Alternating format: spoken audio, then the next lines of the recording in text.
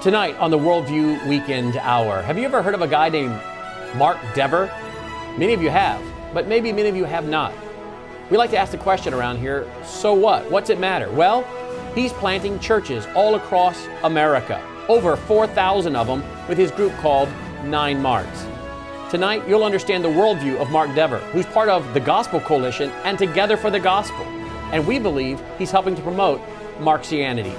My guest live in studio, Tom Littleton. The Worldview Weekend Hour begins right now.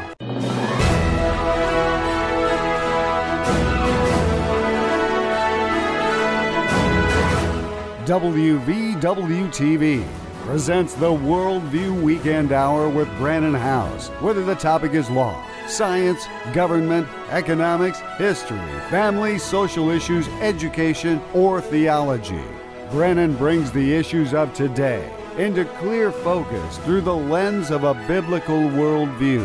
And now, here is your host, Brannon Howse.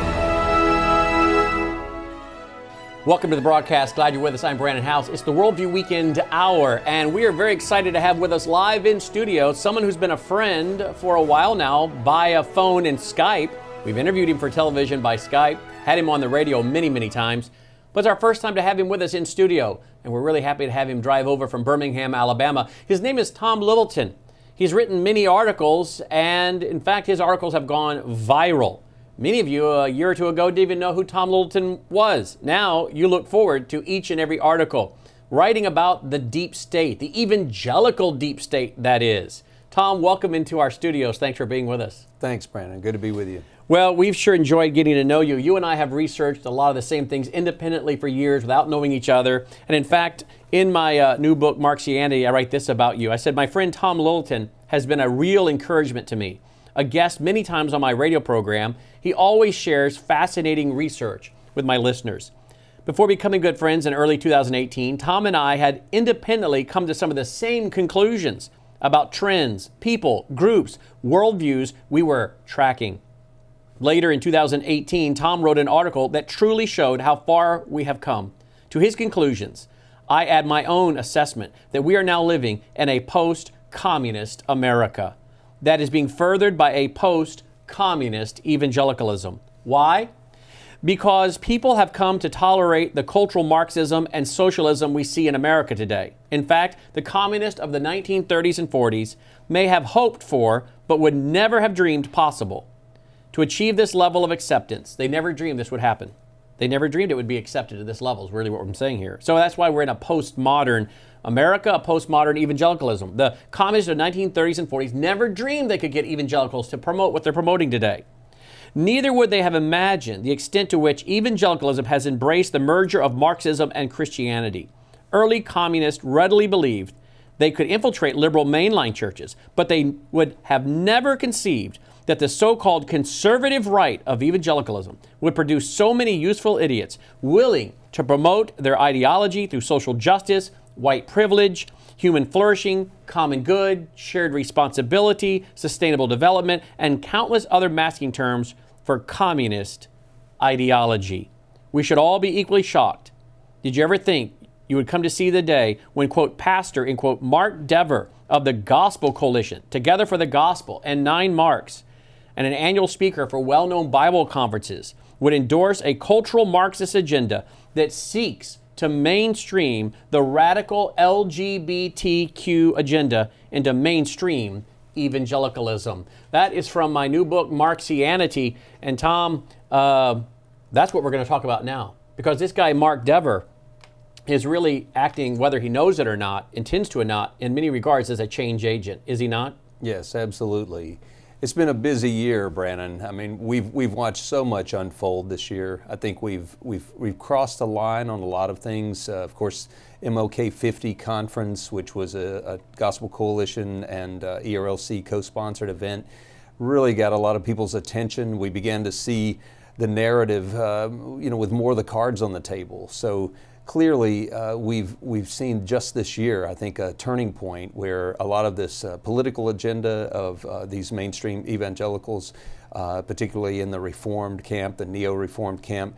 Their political agenda is on the table, and uh, we're seeing that uh, especially and, and I think most vulnerably exposed in their pro LGBT policy. Uh, Dever is a Southern Baptist. Uh, I, I, too am a Southern Baptist. Uh, I never thought I would live to see the day that we would see a, a inclusion audit uh, being implemented in Southern Baptist churches in America, but that happened just a month ago in November. So uh, Dever was the one who was responsible for bringing that into three of his nine Marks uh, churches here in the in the states. That included his own Capitol Hill Baptist, another Del Ray Baptist, and then an independent church uh, also affiliated with Nine Marks uh, in uh, Massachusetts. Wow. Well, let me quote, if I can, again from my book, Marxianity, because I talk about you on page 302 again. I said, here's how Tom Littleton sees this feeding the Marxist agenda. Quote, in America, the evangelical leadership of Albert Mohler, Russell Moore, Tim Keller, the Gospel Coalition, and the Ethics and Religious Liberty Commission of the Southern Baptist Convention have lately presumed to, ta- to take on the task of remolding God's design for the family. They now attack the quote idolatry of family end quote and assert we must replace it with an inclusive and expanding village church family. In America, the end of innocence may be at hand, bringing God's judgment with it. Let us look soberly at where we have arrived in the parade of exhausting and relentless forced uh, conversations and endless conversing led by the court jesters we have allowed in leadership. Tell us about what you mean by that wonderful paragraph. well, sad to say that we're seeing uh, at uh, you know at this stage in the game, we're seeing uh, the talking points basically uh, nuanced and the conversation led by a very small circle of people, primarily those within the Gospel Coalition uh, who've also influenced our seminaries uh, the Presbyterian Church of America, and the Southern Baptist Convention, uh, all being heavily influenced by these same men like Mark Dever. Uh, they're also begetting after their own kind, which, uh, uh, if you think they're gospel driven, you wouldn't have a problem with that. But when you begin to see the cultural Marxism and the leftist political agenda that they're pushing, uh, this pro gay policy, then you realize the fact that Nine Marks has over 4,000 affiliated churches uh, some SBC and some not. Uh, when we begin to see the tens of thousands of pastors who are heavily influenced by the Gospel Coalition and the uh, rabid uh, popularity of uh, guys like Russell Moore and uh, the, the theological giant here, Al Mohler we see that they're essentially reshaping the church uh, right before our very eyes. They're reshaping its theology to what is not at all a classic uh, Reformed theology. It's a neo Marxist, neo Calvinist uh, ideology, and uh, it's politically driven, it's uh, emergent. And when we see this LGBT agenda, I, have kept saying maybe for about seven years now that this is where they're most vulnerable, that we're seeing them openly bringing about uh, the, the church move toward accepting and affirming homosexuality. And one of the comments you made there is that there, this is the emergent church. A shameless plug again. In the book Marxianity, I have a whole, a whole chapter entitled The Gospel Coalition is the Emergent Church. Yes. And many of the guys that were opposed to the emergent church, which was promoting um, back in the uh, turn of the turn of the century, if you will, the early 2000s, late about the mid 1990s, started gaining speed, and then it really came into focus around 2003, 2004, 2005 in that area. It got on the radar of you know people like us mm-hmm. and others, but they'd been meeting quietly behind the scenes since the mid 90s and late 90s.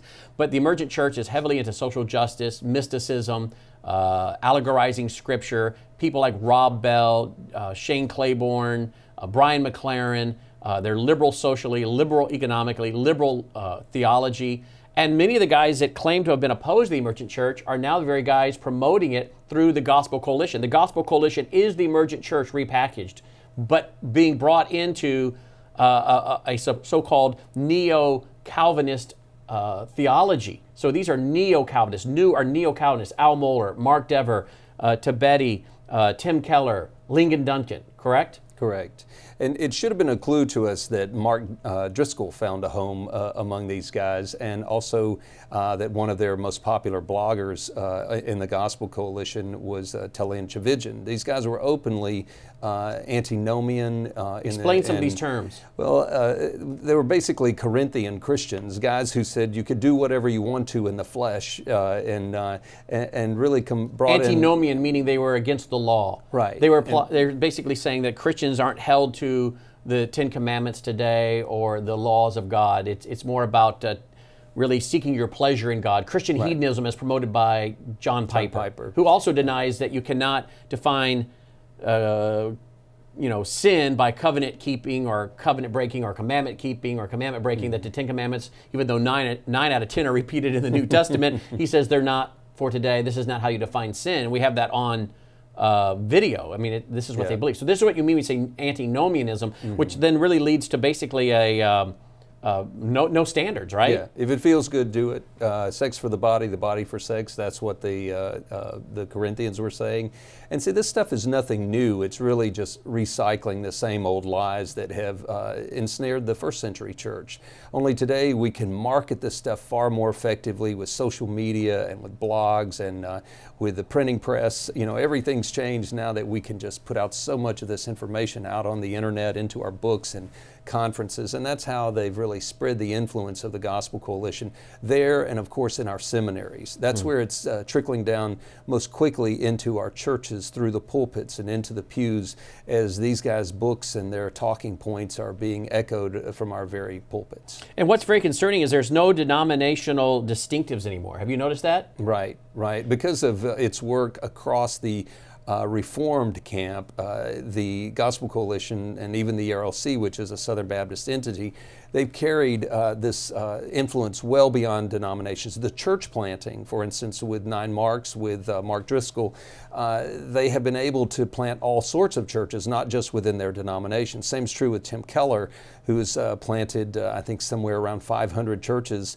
confirmed by his Redeemer city to city to me in an email. Only a third of those churches are Presbyterian Church of America, which is his denomination. So two thirds of his churches are outside his own denomination. Mm. So there's no uh, accountability. There's no um, there's no theological framework within uh, which they must operate. And, and the reason that we bring that up is because you have people who have been, let's say, uh, fundamentalist Baptist, very Bible based, conservative, evangelical pastors, right?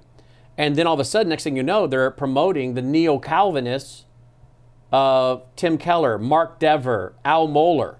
And I'll get uh, someone, you know, emailing or posting on social media who is housed to be calling out men like Mark Dever or Al Mohler. And you look at who they are, and they're come from a conservative Baptist background non Calvinistic, conservative Baptist background. And you're like, why are you defending these guys? This is not even from your camp. Right. But see, this is again. There's no de, there's no denominational distinctives. All the all the denominations are really merging, and all of a sudden you think, well, I go to an independent Baptist church, I go to an independent Bible church, I go to a non-reform, non-charismatic, excuse me, non-reform, non-Calvinist church, but yet your pastors are being influenced by guys that are neo Calvinist, neo meaning new, a new kind of Calvinist, who are promoting liberation theology, socialism mixed with Christianity, or replacement theology. The church has replaced Israel, or they're promoting things like um, dominion theology. We have to take dominion and mm-hmm. Christianize the world and set up God's kingdom. Well, the denomination you come from doesn't teach any of that. It never has historically. But all of a sudden, your pastors are being influenced by the guys who are the neo Calvinists who do teach that and that, that's run right into your denomination. So there's no denominational distinctives anymore. So the point being made is you may be saying, uh, Howse in Littleton, hey, newsflash, I don't go to a neo Calvinist church. Uh, I go to a church that has a very distinct doctrinal statement with pastors who come from a her- history and heritage that doesn't embrace those things. Well, they do on paper. On paper, your church has a distinct doctrinal statement on paper. But in practice, your pastors from your denomination that has historically not embraced these things it, they are being influenced by the neo Calvinist Al Mohler, Mark Dever, Ligon Duncan, Tim Keller, and others, correct? Correct. That's absolutely correct. And it is proven by the fact that these churches are being planted by guys like Mark Dever or Tim Keller that are not even from the Reformed camp that they're from. So they're planting churches that aren't even a part of their denomination or association, which proves our point, correct? Right. And the great irony with Tim Keller is that until just recently, when he left his pulpit at Redeemer uh, Church in New York, and went full time with his uh, planting arm, his global planting arm, which is Redeemer City to City. Uh, up until just recently, uh, Willow Creek Association was actually providing all of the resources and the training for his churches, including the PCA church. So if you were giving money to plant PCA churches to Tim Keller, you may be shocked to find that uh, Willow Creek, the uh, crossless, uh, seeker friendly church growth model of um, Bill Hybels, who's just recently been removed from his pulpit, was actually um, uh, uh, resourcing these church plants. So uh, it, it, it comes back to really a, an, an awakening for us, a reality, the realization that doctrine may provide for them some cover, but doctrine and theology actually means very little to these men. Well, the old ecumenical slogan was doctrine divides and the spirit unites. And that is why you had denominationals, denominational distinctives, because you had doctrinal beliefs while they would agree on maybe on the, what the essential gospel message is, there were some doctrinal distinctives that made up each individual denomination, correct? Correct. Now, what you're saying is those doctrinal distinctives are gone, thus, the denominational distinctives are gone. And now all of a sudden, you think you go to this independent Baptist church or independent Bible church, or you think you go to an Assembly of God church, and you're thinking, well, we're not going to be influenced by the neo Calvinists. Um, sorry, you are because again the doctrinal distinctives are gone and now this is all coming in with very well-known guys like again tim keller Ligon duncan mark dever al mohler and others. And so again what we're talking about is really a total transformation of mainstream evangelicalism and a total transformation of the mission and purpose of the church but it's the things that we thought these guys were opposed to we come to find out that's all just a shell game they're promoting the same liberalism that Bob Buford, Peter Drucker, Rick Warren were promoting that we were warning about years ago. We thought these guys were opposed to that too. Coming to find out, they've just packaged their theology and used that as a cloak to deceive people into thinking they're very conservative, maybe even fundamental uh, conservative evangelicals. That's all a ruse to cover the fact that they're really social justice warriors, change agents, correct? Right. Right, and and actually, the when people trust them to be operating within a, a theological framework, when they are espousing that, when you consider yourself uh, uh, with, with maybe your child is in uh, um, seminary if, or your pastor, you think, well, they're getting a very solid theological training here. That's not, not necessarily true. It's, it's not true. As a matter of fact, it's more likely not the case because they're getting so much of this other, um, you know, church growth strategy taught, the social justice. And that's one of the things we revealed in the evangelical deep state is that uh, the social justice driven um, ideology is actually in the curriculum and was firmly in 13 of our conservative seminaries by 2013. Now it's in over 23 of those seminaries, plus the undergrad and Christian colleges and universities. And these were the seminaries that everyone thought were the conservative, mm-hmm. evangelical ones holding the line that you could trust. And yet it turns out the very social justice agenda was in the curriculum of what we thought were the really conservative evangelical seminaries. Right. And, and if people look back, 2013 is when everything really began to change. Uh, I, I think probably the, uh, the, the biggest marker along the road for us would have been over the LGBT issue, and that's one reason that I've continued to just hound this issue with where we are with the church, because we're actually having a conversation that we never really needed to have. It's a highly nuanced conversation, and we watch uh, the Gospel Coalition, Tim Keller, they brought these guys from the Church of England in with a ministry called Living Out. Uh, they're the guys who authored this. Um, uh, church audit and have uh, implemented this course for those who will sign on to it to uh, ask you how biblically inclusive is your church. And we covered this on the radio that there are 10 points uh, where they want to basically police your uh, pulpit, they want to police private conversations, even uh, attitudes, uh, and they want to make sure that no one talks about homosexuality without mentioning other sins. Uh, and then they want to have um, essentially quotas because they're wanting to make sure that you're hiring LGBT, that you're including LGBT.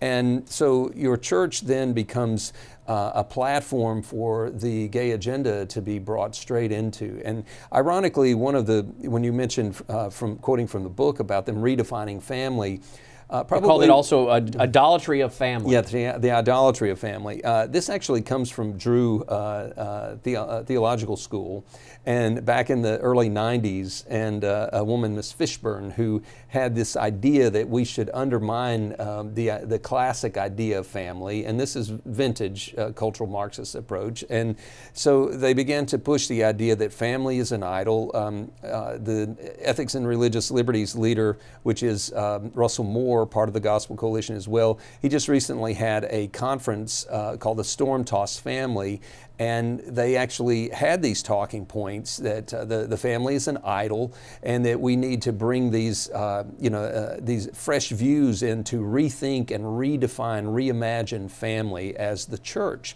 Well, then that church is this very inclusive church. So uh, Sam Allberry, one of the guys who wrote this, um, uh, biblically inclusive uh, church audit for LGBT inclusion actually asserted that we should uh, include uh, sharing our resources, our homes, our, our holiday meals, and even our children to people who are of uh, different backgrounds. So this is shocking. Even your children. I, I, let me quote from you again. In again from the book Marxianity. I'm quoting an article by Tom. He says, "quote." Freshly off their promotion of the Radical Revoice Conference. This was a conference held in July of this uh, last year, 2018, uh, in St. Louis. And by the way, it was put on and founded by a guy named Nate Collins, who got his degree, his PhD, and wrote his book um, while at uh, Al Mohler Seminary. And he the Amazon description of his book, his book is called All, All But Invisible. All but Invisible. And the Amazon description of the book, as we've discussed before, states that he is a, a, a, gay, a gay man living in a mixed orientation marriage, correct? Correct. Correct. Which means he's married and he has children, but he calls himself a gay man. Yes. And so that was Revoice was the conference they held, uh, and we covered it here. In fact, we broke it on our program with you, and then it went all over the country. It was one of the biggest stories of the summer. And again, would you have ever thought that uh, uh, people like, you know, Mark Dever of the Gospel Coalition, Together for the Gospel, Nine Marks, who also speaks with, you know, at, well-known Bible conferences. This is another thing. These guys are getting a lot of theological cover from well-known Bible teachers, which is what is causing people to think they're trustworthy, correct? Right. And, and they're using an emotional narrative, an emotional appeal uh, nobody wants to be branded a homophobe or to say your church is homophobic, that people are not welcome. There's a, a core fallacy in their approach, uh, which ironically, when you look at this church audit and you see these 10 um, statements that you mark as true or false or you're not sure, they actually ask you to affirm something in the Evangelical Alliance uh, uh statement on LGBT. Now, let's before. explain what that is. What is the Evangelical Alliance statement on LGBT and what does it have to do with this 10 point survey? Okay. They're working uh, as partners with Living Out, which is the Allberry London based organization. London based organization, which Tim Keller has been speaking at their conference. They promoted Revoice. Uh, they still include Revoice speakers. Which and again, Revoice was all about mainstreaming the LGBT people into your evangelical, quote, evangelical churches. Yeah, in their own words, they were uh, promoting LGBT plus thriving in historic Christian tradition. And the inclusive and, survey that we're about to read from will tell us what that means. Right. Okay. So, uh, Evangelical Alliance, a larger umbrella organization that works out of the uh, EU, or rather in the EU and uh, the U United Kingdom, uh, they had 10 points as well that they wanted you to affirm before you agreed to sign on to the training and to bring this audit into your church. And number 10, it says, We encourage evangelical congregations to welcome and accept sexually active lesbians and gay men. However, they should do so in the expectation that they, like all of us who are living outside God's purpose, will come in due course to see the need to be transformed and live in accordance with biblical uh, revelation and Orthodox church teaching. Now, the problem with this is we're right back uh, to uh, initially with uh, the out, uh, you know, the living out narrative was well, these are celibate same sex attracted Christians. Now we're saying we want to let sexually active uh, uh, people who claim to be Christian into the church. And so who predicted who predicted that that would go from being celibate LGBT to sexually active LGBT? Who predicted it was going to go that way? well, I think we all were We trying did. to. We did. And, on radio, TV, we told you. You and I told Yeah. our audience this is just getting the camel's nose under the tent. Yeah. It's they're saying now, um, you know, abstinence. Uh, they're not practicing homosexuals. They're same-sex attracted, but they're not practicing. Now they're saying you got to accept people who are practicing LGBT. And of course, the question is: Would any church knowingly, any true evangelical Bible-believing church, knowingly embrace someone who is sexually active outside of marriage into church membership or leadership? Well, not if you're following the biblical standard, right? Yeah, but they're not qualifying whether they're uh, married or not. They're Right. just saying they can be active. And really, what we see is we suddenly have two standards uh, for sexuality. Heterosexuals would actually be held to within a conservative church that was going to go this uh, this pathway uh, would would be held to a different standard. And because a person is LGBT, of course, uh, they wouldn't be held to that standard at all. They could be sexually active outside of marriage, or they could come as a couple. And the problem is, th- this is total ignorance of Scripture. It's total ignorance of the church. It's trying to use the body of Christ as an evangelistic tool. And we're not supposed to make them Is it trying to do that, or is it trying to just be change agents to destroy the well, church? Well, at best, it's trying to use make the church attractive and welcoming and appealing, and I think that's the marketing. Is it that, or is it also trying to make sure that when the laws come down on Christians, they already have a track record of being pro LGBT, so they can also be sure to be entering into contracts with state, local, and federal governments for lots of money? Yeah, we're proving our uh, uh, affirming and uh, that Because that if once you are approve you're politically correct, th- then you don't have to worry about the government coming after you. right. And then once you prove you're politically correct, all the uh, state, local, and federal government contracts they can receive as social justice service centers, they can now receive millions and millions of dollars. So they're laying down a narrative that makes them qualified for all the uh, goodies that go for the with the government and no none of the persecution, right? Right. And the irony, as I said uh, in the beginning, this is now already in a couple of Southern Baptist churches here. Thanks to Mark Dever, it's been implemented here in November 2018. You know, mark your calendars, people. That's when the SBC moved into apostasy regarding uh, homosexuality. If this had happened five years ago, uh, Dever's church would have been kicked out of the Southern Baptist Convention. Well, here's what you write. You say, freshly off their promotion of the Radical Revoice Conference and hosting of Tim Keller and his wife Kathy for a gay Christianity extravaganza in London, Living Out stepped into the global spotlight to promote a church audit for LGBTQ plus inclusion and its conference legacy. They declared, quote, at our, at our Identity in Christ conference with Tim and Kathy Keller in June 2018, we launched our Living Out Church Audit, a tool to help church leadership teams answer this key question How biblically inclusive is your church? Unsurprisingly, our focus is on those who might identify, unsurprisingly, our focus is on how those in, uh, might identify as LGBTQ. Same sex attracted. Jesus included all in a countercultural way, and we hope this audit will help our churches follow his lead. End quote. Now, we're going to get into what the audit is, but Mark Dever, shockingly to some, actually sponsored this UK group's Living Out Audit conference in the US just in November or October. It was October? November. So November. ear- early November November. 2018. November 2018. Mark Dever, the Gospel Coalition, Together for the Gospel, nine marks. It's planned over 4,000 churches. Uh, his church sponsored the Living Out Conference with this inclusion survey we're about to, to read from, correct? Yes, and so far I haven't seen any videos surface from that. But I will say this: uh, his uh, one of his uh, proteges, uh, Garrett Kell, who is the pastor of Del Ray Baptist, which is also a Nine Marks church in Virginia, was uh, that both Capitol Hill and Del Ray were listed on, uh, initially on the Living Out site as the host and, and working together for this. Both are Nine Marks churches. But as soon as we really went forward and, and exposed some of this stuff, I think several other outlets picked it up as well. Dever's Church was taken off. We have the screenshots, though. Yeah. And, and so it does tell you that it, it does some good if we're getting these guys to, you know, trying to slip back under the covers with this stuff. They know they're doing wrong. They know they're doing something that is not in keeping with their reputation. They know that people are trusting them to be something that clearly they are not. You know what's really interesting is that Mark Dever runs with a lot of these uh, neo Calvinists and uh, extreme Calvinists. Uh, and again, we don't have an issue with the classic Reformed people. You know, Charles Ryrie, um, you know, my friend Tommy Ice is, is traditional Reformed. Uh, but he's he's not into um, the extremism of it. He, in fact, is open about his defense of the gospel in regards to free grace. Charles Ryrie was the same thing. So we're not picking on Reformed people, okay?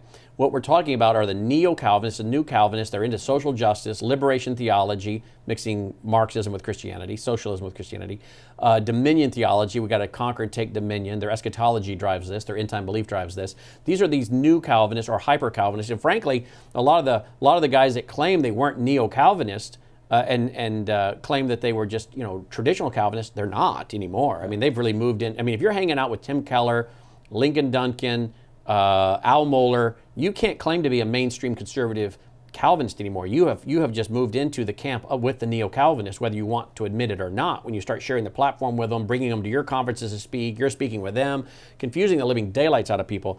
So we're not going after Reformed people. This isn't a Arminians versus Calvinist. I'm not a Calvinist. I'm not an Arminian. I'm a biblicist. Uh, you're not a Calvinist either, and you're also not an Arminian. Correct. So we're just coming from the biblical perspective. What we're trying to show you is that you may not know who these people are, but your pastors largely do. And again, we're coming back to repeat why are we covering this? Because most of you don't know who these people are. Our regulars do. But this is why your church that you thought was conservative is now in transition. Traditional, transitional, completely transformed. And many of you don't know why. Well, it's the books they're reading, the conferences they're going to, and the people they're watching online and on YouTube. Now, what's really interesting is Mark Dever, who is you know thought by so many to be so sound theologically, and and some pastors have posted publicly who is Howse think he is to call these men out. I mean, after all, these guys are giants in the faith, I guess, they, to them. Well, they put their pants on one leg at a time, like the rest of us, and here are the facts, and they can't refute it. And we've got the screenshots, and we've got all, we've got everything we need to show there's a problem. But what's interesting is nobody that we know of in their camp is calling out Mark Dever. Not one person that we know of in their camp is calling out Mark Dever publicly. And yet, some of the people in his camp were all over us, trashing us throughout all of 2000, most of 2017 and all of 2018, because we dared to point out an interfaith dialogue with a Jew hating, Holocaust denying, Hitler defending, jihadi preaching imam. People from Mark Dever's camp and all those extreme Calvinists, they were all over us for exposing that with their buddy who's an extreme Calvinist, James White. But Mark Dever can go and promote the living out LGBTQ uh, trash and an inclusive agenda, which includes sharing your children with same sex attracted people, apparently, and nobody from his camp says a word. Does that not tell you the, the transformation? You cannot speak about interfaith dialogue in a church with a Jew hating, Holocaust denying, Hitler defending jihadi imam with one of the extreme Calvinists. If you do that, you get trashed. But one of the extreme Calvinists and neo Calvinists can push the whole LGBTQ agenda and they say nothing. Doesn't that just tell you the atmosphere we're living in now? Yeah, I think Brannon, it's it's a compelling case that these guys have some uh, something to hide, that they are operating within the shadows, and then when they come forward with this stuff and it comes out, then they start removing their their uh, the name of the church from the website. They start actually altering the audit. I'll point that out. Hmm. Um, originally, number nine on the uh, Living Out audit said church family members uh, instinctively share meals, homes, holidays, festivals, money, uh, children with others from different backgrounds and life situations from them. That's true or false. Now, uh, shortly after we expose some of this um, audit's work with Dever and then also uh, Sam Allberry speaking at the Living Out uh, or at the ERLC conference uh, in Dallas, they changed number nine to read Church family members instinctively share meals, homes, holidays, festivals, money, family life with others from different backgrounds. So they've taken out the word children, uh, and so they know that people are getting sensitive to this. And uh, as I said, you know, MLK 50 really brought a lot of attention on them, that uh, unwanted attention. Sometimes you think these guys, uh, you know, uh, think they can't get enough attention because they're everywhere. But when the truth starts coming out, clearly, uh, and they are operating as change agents. They're working to bring about radical change within the church and to radically alter the church's views on social justice, on issues like race, on issues like LGBT. Clearly, we have something going on at the church, in the church that people have not been paying attention to in years past, but suddenly people are paying attention. This is a really good thing that people are noticing, they're picking up on it. And honestly, these guys have no right to make these decisions to move our families and our churches and even pervert the faith of our fathers uh, to make it uh, uh, acceptable and compliant with this whole agenda. Absolutely not. Uh, and, and again, let me just mention if some of this is new to you or it's not, you want the documentation, a shameless plug again. I mean, this is in the book Marxianity that just came out in November 2018. It's 336 pages. Uh, it's uh, almost 400 footnotes. He mentioned the MLK 50 that was celebrating the life of uh, Martin Luther King Jr. and the 50th anniversary of his assassination. And I have a whole chapter in the book on Marxianity on the real worldview of Martin Luther King Jr., who was surrounded by communists. Uh, we can appreciate what he was trying to stand for when it came to civil rights movement, but he was going about it the wrong way, and his ultimate goal was not good. It was socialism. And uh, I document that by his own words in this book, Marxianity, along with everything we're talking about is in the book Marxianity. It's subtitled How the Evangelical Deep State and Their Useful Idiots Are Merging Marxism and Christianity Through Social Justice, White Privilege, Cultural Marxism, Illegal Immigration, Interfaith Dialogue, and more. And you can get a copy at uh, marxianity.com if you're saying, you know, I want more about what it is these guys are talking about. Marxianity.com, you can get the book there. Um, what about your website? You're, they're going to find a lot of these articles on your website. What is your website? Uh, my website is 30piecesofsilver.org. It's just a small WordPress uh, uh, blog. And I don't blog every day because I don't think I have that much to say. And I'm not offering opinion, I'm just offering these research articles. And you can go to that, spell it out, 30piecesofsilver.org. And why you, did you call it that? Why is well, it called well, that? Well, obviously because uh, these guys are playing Judas, uh, and I think some of them are descended uh, directly uh, in ap apostolic descent from mm. from Judas, who was willing to sell out the Lord Jesus for 30 pieces of silver, the price of a slave. And sadly, that's what we're seeing is a major sellout from some of the most trusted people within the evangelical community.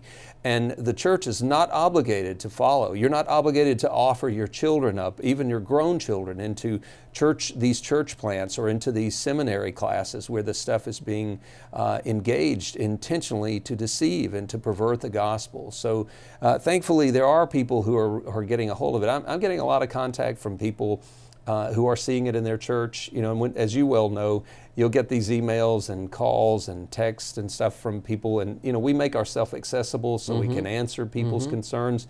And honestly, I think we're, uh, the, 2018 was a turning point. They came much more out in the open. I don't think they can put the genie back in the bottle. They came now. out of the closet, didn't yeah, they? Yeah, they did. and so, what we can do is take the opportunity to make sure that uh, this woke movement, as it's being called, mm. fails and people are awakened to the truth. And for those who maybe are, don't know what woke means, it's the idea that you've been awakened to your white privilege, your racism, your bigotry your homophobia, your Islamophobia, you've been awoken or you've been woke.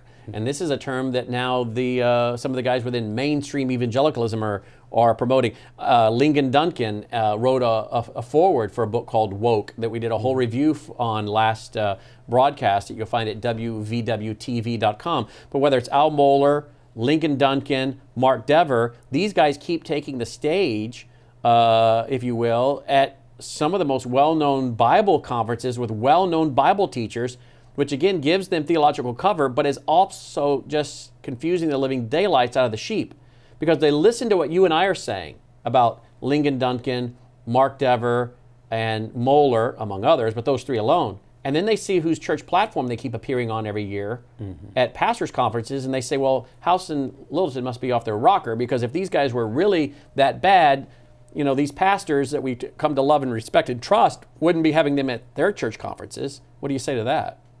Well, I would say, you know, these guys in the past, maybe things, this, this might have been true of some of them. Uh, the, the bigger problem now is that it, you know, it, we, we passed the point where the dividing line has been drawn. And so anyone who continues to be in association with what's being revealed at this point, uh, including the political agenda, which we saw manifest uh, during the midterms. Uh, clearly, people are willing to silence uh, whatever differences they may have, if indeed they do have any difference uh, and, and detraction from these guys' teachings, in order to remain in fellowship with them, to remain on the platform with them. And that's been one of the problems with the whole Gospel Coalition approach. It's kind of a preacher frat house and people don't want to give up their their fraternal uh, you know bonds that they share within both the seminaries and in the Gospel Coalition itself, which sadly shows that the gospel is very secondary. So here we are looking at uh, not only, as I said, the, uh, this push for the LGBT inclusion being a, a clear indicator of how far we've come in this, but like I mentioned, the midterm elections, uh, we saw more and more discussion of uh, what I think is revealing discussions of the politics behind the Gospel Coalition. Um, Jonathan has. All right, let me. Um let me go to a clip. I'm sorry, that was my phone because I want to go to a clip now. The politics of it. Is this a good transition time yeah, for that? Yeah. This video that we're about to show. Who who is this? It's Mark Dever talking to a Jonathan Leeman, So I answered mm-hmm. that question. But but who is Jonathan Leeman? He's the editor for Nine Marks, and these these guys who are the editors are actually the guys who draft the message and keep the me- message on task. So as much uh, product as they're putting out, and with all the different writers that are contributing, the editor is the main guy who's shaping and directing the message. So this is uh, uh, Jonathan Leeman, and they're discussing his book. Uh, I, I, forget the name of it at, at this point because I, I, don't want to plug it anyway. but uh, he, he they're interviewing and talking to about 400 pastors at the Southern Baptist Convention with a Nine Marks meeting, and Dever reveals something very interesting that's not in any of Leeman's bios. And what he's about to reveal is that his editor, is a graduate of the London School of Economics, which uh, any of our regular listeners know. That is the Fabian Socialist School, the London School of Economics. And it was the Fabian Society that gave birth to the Labor Party, that includes well known politicians like Tony Blair, who has the Tony Blair Faith Foundation, who is openly trying to bring the religions of the world together as one. We know that the Fabian window, designed by George Bernard Shaw in 1910, includes a wolf in sheep's clothing as the logo of the Fabian Socialist Society. Their goal is revolution by evolution. So this, it is not, a, it is not um, just an outright revolution.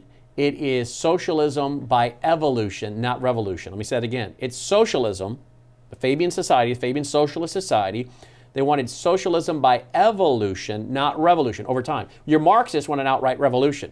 The Marxists and the Fabians will work together in, in concert. One is more aggressive and just wants outright revolution. That's your Marxist.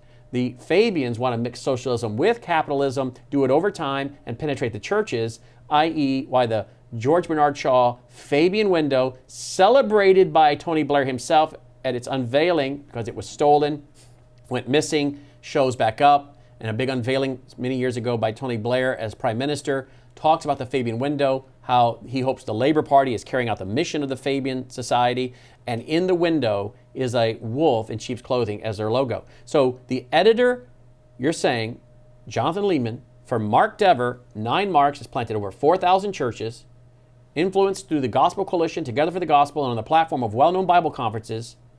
His editor Dever admits, is a graduate of the London School of Economics.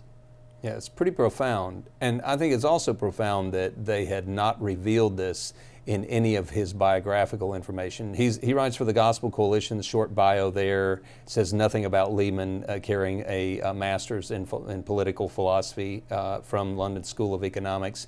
Uh, I looked at his bios everywhere. I haven't read his book yet, but he uh, this is the only place that I've seen it revealed that he carries this uh, degree. And of course, uh, I think Dever couldn't help but brag about it, but he didn't realize in that moment what he revealed to those who are aware and uh, know what this means for nine marks. Let's go to that clip. Um, Jonathan has a master's in political philosophy from the London School of Economics. It's very dangerous for him to answer a question like that. We're going to get bored very fast. So, brother, you can do that so long as you remember it's after 9 o'clock, after 10 o'clock from everybody coming from the East Coast. All right, so there you go. Uh, Mark Dever is admitting that his editor is a graduate of the London School of Economics. That's not something I would go around bragging about. No. No, Not but- knowing the history and worldview of the Fabians. Would you go around bragging about that? No, but I'm I mean, if you went there as a non-believer, excuse me for interrupting, but if you went there as a non-believer, let's say, and Dever just brought that up, it's kind of like, hey, his credentials are he's from this great school, London. Yeah. Wouldn't you interrupt him and say, wait a minute, that was when I wasn't a believer. I disavow the Fabian Social Society, the London School of Economics, and their worldview. I disavow that. You wouldn't you do that? Yes, you would think. Uh, But he's and- bragging about it. Right, and uh, and they make some fun with it because it, obviously he knows so much more than the audience yes. that he could bore them Yes. with his uh, long, exhaustive answers. But clearly, he's gotten several. Um, you know, uh, theological degrees of the uh, neo-Calvinist uh, institutions, so he can um, mask that and wrap and package that London School of Economics, Fabian socialist ideology in their theology. That's a good uh, indicator of what we're seeing happen. In the same way, with the with the editor of the Gospel Coalition and the main uh, communications guy from the Ethics and Religious Liberties Commission under Russell Moore is Joe Carter, same guy who's been trained at the Acton Institute with this same type of uh, social justice ideology and keeps the message for both the Gospel Coalition and the um, ERLC on track. And Acton Institute, again, that's all in the book Marxianity, and you and I have done radio and TV on it. Acton Institute is run by Robert Sirico, who was a Pentecostal pastor in the early 70s, and then, according to the news reports out west, and we have the screenshots, can, became an open homosexual, performed a homosexual marriage, and I guess is apparently a gay priest. yes, he's now a Catholic priest, And he is the head of the Acton Institute yes. that Joe Carter of the Gospel Coalition works with. Yeah, that's his day job, and then he moonlights at the Gospel Coalition and the ERLC. So The point being that we've got a broad problem. We got an editor at the Gospel Coalition working at the Ethics and Religious Liberty Commission with Mark Dever and Russell Moore, Joe, Joe Carter, who works with the uh, reported gay priest Robert Sirico, who's into communitarianism, socialism mixed with capitalism, which again I explained in Marxianity. And then you got the editor over at Mark Dever's group, who's a graduate of the London School of Economics. So the point is, you got editors that are coming from organizations that we've been warning about for years when you talk about Fabian socialism or the alternative communitarianism. Because if you're a Fabian socialist, you belong to the Fabian Social Society. If you don't belong to the Fabian Socialist Society, we can't really call you a Fabian because you don't belong to the Fabian Socialist Society or gra- haven't graduated from their school. But we could call you a communitarian, which is the same thing, the mixing of socialism with capitalism. So here you have Mark Dever's, editor, is a graduate of the Fabian London School of Economics. Here you have Joe Carter, editor at the Gospel Coalition, who works with Mark Dever and Russell Moore at the Ethics Religious Liberty Commission, and he is working with the Acton Institute, which is an organization that openly promotes communitarianism, mixing of socialism with capitalism. Now, these are the things we've been warning about for years and years. I mean, this is what my book, Religious Trojan Horse, The Coming Religious Reich, uh, Grave Influence. This is what these books have been warning about this Fabian socialism with communitarianism. Now we're finding out here in 2018 that some of the biggest organizations within so called mainstream evangelicalism that are planning churches, thousands of them, speaking at some of the biggest conferences like Together for the Gospel that just had 12,000 ministry leaders in April of 2018 in Kentucky. Uh, the Gospel Coalition that influences no telling how many churches and thus millions of people in the pews. These very players are connected to the Fabian socialism and communitarianism model that we've been warning about, that our critics wanted to say was conspiracy, but now they've just spilled their guts. clearly, and and their messaging. The message has changed. The, me- the message is migrating us, and it's incrementalism.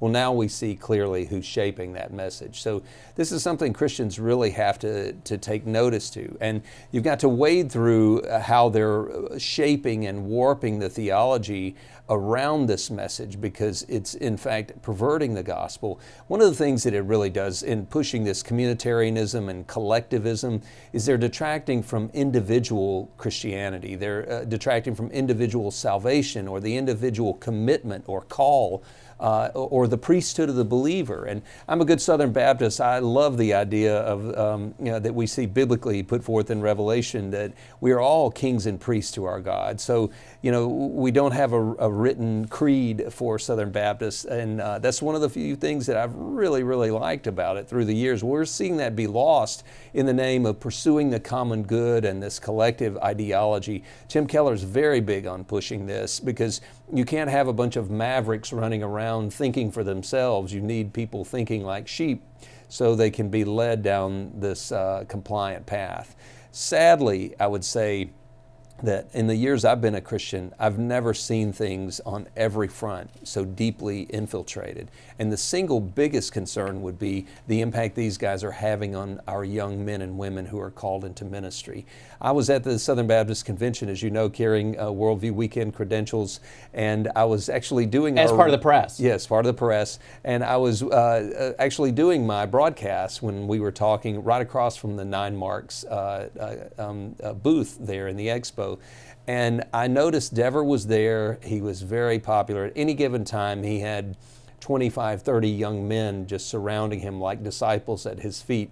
Of course, it's obvious that he could help you get a church plant. He could help you get a job, you know, and uh, get and help you launch your ministry. And hey, if you're a really innovative guy, you could be the next big thing once you tie into these guys. And, and sadly, you know, the ambitions and just the need for employment the frustration that a lot of these young guys uh, have had trying to find positions of ministry or staff positions. Or Meaning pastors. they spend a lot of money and time getting a degree and then they can't find a job. They can't find a job. So these planting arms uh, actually have made it easy because they have a lot of money from outside the church. Guys like Bob Buford who have poured money into uh, essentially creating this new paradigm uh, church within evangelicalism by spreading the franchise.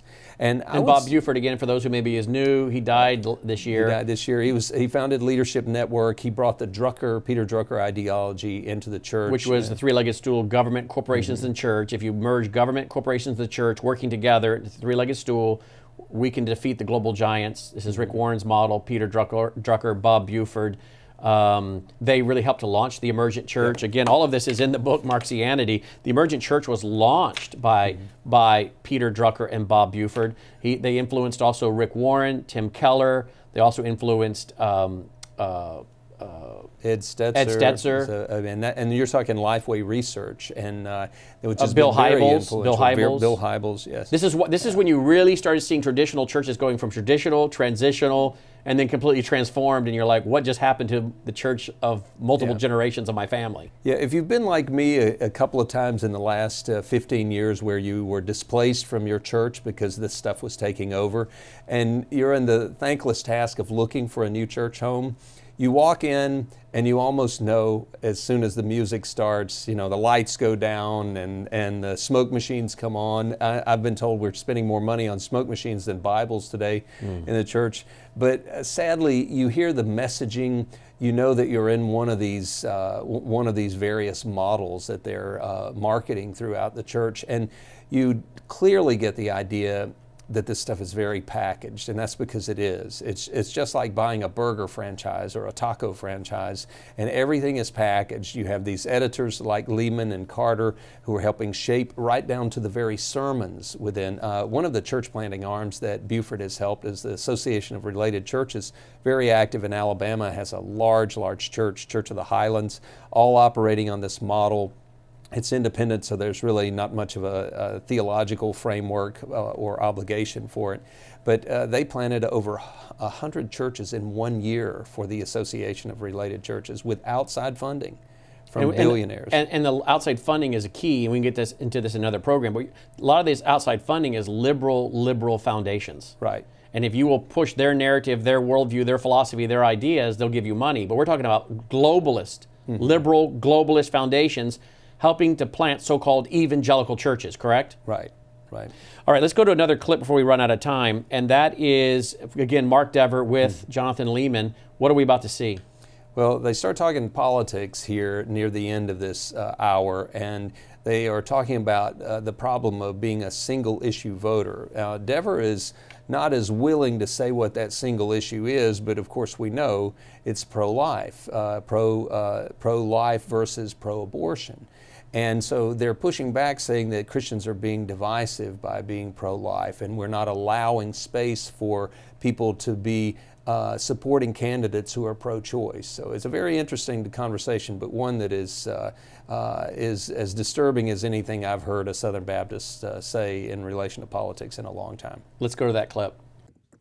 Well, just I don't have much time left to make people mad. So, uh, what about one issue voting? I think one of the things that most separates white and black Christians in America is one issue voting. I think white Christians think this is the only moral way to approach voting.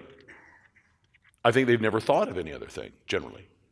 I think a lot of our African American brothers and sisters realized, like a long time ago, that, well, there are going to be a bunch of different issues that are going to be affecting us. And I can vote for a candidate who I disagree with about some very important issues that I don't really think they're going to get anything done on, but I agree with them on these other issues that I think are going to help a lot of people. Can, even if you don't adopt that thought yourself, can you allow space for that in your church as a morally legitimate argument and option? So I can understand, for instance, how a person might, I might not agree with it, but I can understand how a person might decide, well, look, I'm, I'm pro life, but, um, you know, there have been Republican pro life quote unquote candidates in the White House for the last number of, of decades, and yet the laws haven't been overturned. Meanwhile, I think this, let's just say, I'm thinking hypothetically, the welfare policies of these candidates has actually decreased the number of real abortions in such and such a state and actually brought the number of abortions down. So, though they are pro choice, I think that they've actually helped the abortion issues as opposed to your Republican candidate. Now, I might not personally agree with that argument. I might say, well, that's wrong for reasons X, Y, and Z. Nonetheless, I can understand how a Christian in good conscience could make that argument.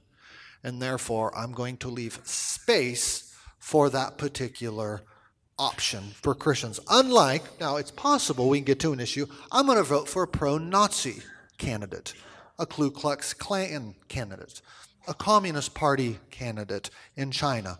Well, I'm going to I'm going to restrict a bit more. There are parties, there are candidates that I think are beyond the pale. And it's possible we reach a place in American history where we, we decide that's the case for certain parties, and I think some Christians already feel that way. Nonetheless, I would say I think we're still in a two party system where Christians can, in good conscience, make different kinds of arguments, and we need to leave space for that. Last comment insofar as we don't, we risk, and I think we all know this, subverting Christianity and the gospel to party identity. And how's that going for us? Not very good, I don't think.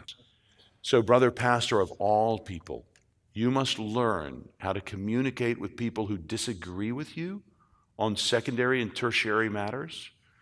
And part of that is being deciding what those issues are you have to agree on and what you can disagree about. And that is where having a plurality of elders will help your local church. Do that, and that plurality of elders will help you be discerning about what issues you should or should not allow liberty in. All right, Tom, I think in our next broadcast, we need to pick it up right here and go through what these guys said because it's very, very troubling what they just said. Uh, first of all, I kind of find it a little racist. Blacks automatically are going to vote for the liberal socialist, social justice people. Uh, then he wants to talk about minority votes one way, non-minorities vote another way. Again, that seems a little racist in its fit on itself. He wants to give an example. I would say, give me one example where social justice welfare programs have reduced abortions. He talks about that. I don't know of any such example. It doesn't exist that I know of. He talks about, well, if we get people who are pro-Nazis, then we got to take a stand. Well, th- does he not know that Margaret Sanger worked with a Nazi doctor to promote abortion? And then Dever wants to say that you have to have a plurality of elders to tell you how to vote, a plurality of elders to help you decide what are secondary issues and what are not secondary issues. All of this is worthy of a whole program, or at least a big chunk of a program, don't you think? Yeah, I think so. All right, let's pick it back up when we come back, folks. Uh, flat out of time. My guest is Tom Littleton. He'll be back for the next broadcast. What's your website again? 30piecesofsilver.org. 30piecesofsilver.org. Very troubling issues, but very important issues. And I hope you appreciate what we're doing. If you do, don't forget about our um, foundation. Make a tax deductible contribution, if you would, at wvwfoundation.com. Uh, we're coming up on the end of the year. The majority of our, uh, well, about 40%, I should say, of our annual budget comes in the last six weeks of the year. So please consider making a tax deductible contribution now at wvwfoundation.com. You can also send a check or use the phone number on the screen. And again, our website, wvwfoundation.com. Thank you so much for helping us continue this broadcast ministry. Well, until next time, I'm Brannon Howse. Thanks for watching. Take care.